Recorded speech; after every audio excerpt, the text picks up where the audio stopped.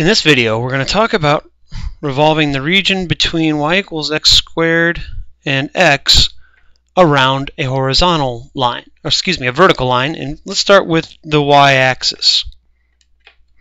So now uh, we need to take a horizontal slice because we want to take that slice so that there's no curvature. That slice is going to have a height of delta y and we're going to see what it takes to revolve just that slice around the y-axis. Well, that means we need a measurement of the radius. If we were to pull that out, we would that slice, it would look like a washer. Sometimes you'll hear this referred to the washer method, with the y-axis just being a dot right down the middle. So we need this little radius and this big radius. Now, what we can see is these are going to be values of x. This could be x sub small for the small radius and x sub large for the large radius. So they're x values. So what we're going to need to do is get our curves defined as, as functions of y. Easy, very easy for the line y equals x. It's just x equals y. And also very not too bad for this one either. If we take the square root of both sides on the right hand side of the plane, this is x equals square root of y. So we do need our functions to be invertible if we're going to do this, at least on the region that we're looking at. We also need their intersections, 1, 1, and 0, 1. 0, excuse me.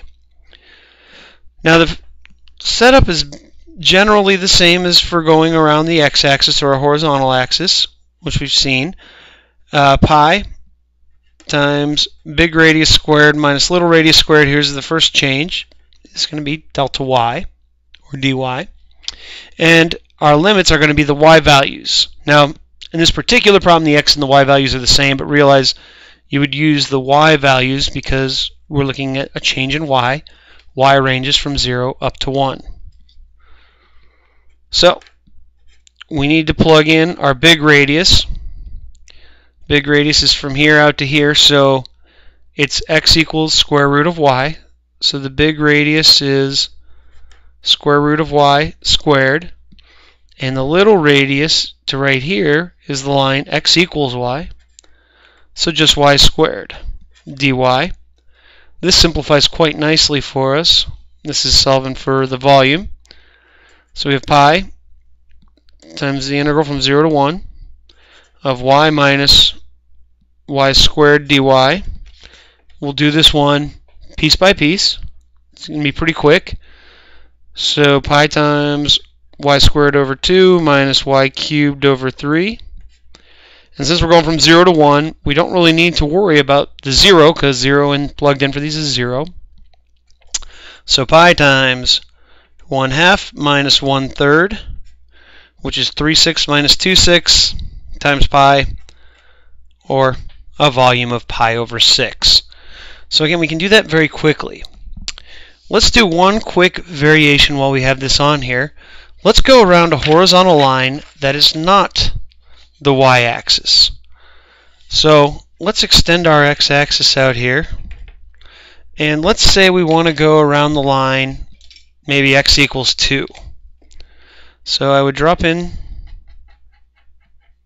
this is the line x equals 2. And now what's going to happen is this is going to get revolved this way, right through our last problem. So it's going to get revolved around that axis. Most of this problem will stay pretty much the same in that in looking for the volume, the integral is still going to go from 0 to 1 because the y values will go from 0 to 1. It's still going to be pi times big radius squared minus little radius squared dy. The only thing that's going to change is what the big radius and little radius are. So, the little radius is going to be the distance from the line of revolution out to the first curve. So let's darken it a little bit. It's going to be that line right there. Now in calculating this, we know from here to here is 2, and notice from here to here is going to vary depending on where we make our slice. It's going to be, vary based on this curve, which is square root of y. So the length of this line is 1 minus square root of y.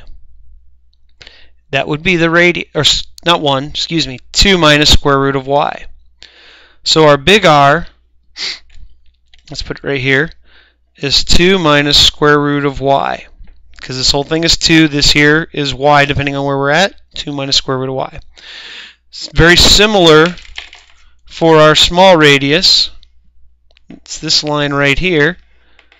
2 is the whole thing. We're always going to be subtracting off whatever y is. So little radius is just 2 minus y.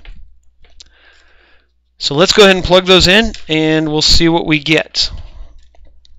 So v equals 0 to 1 pi times first we're going to have 2 minus square root of y squared minus 2 minus y squared dy.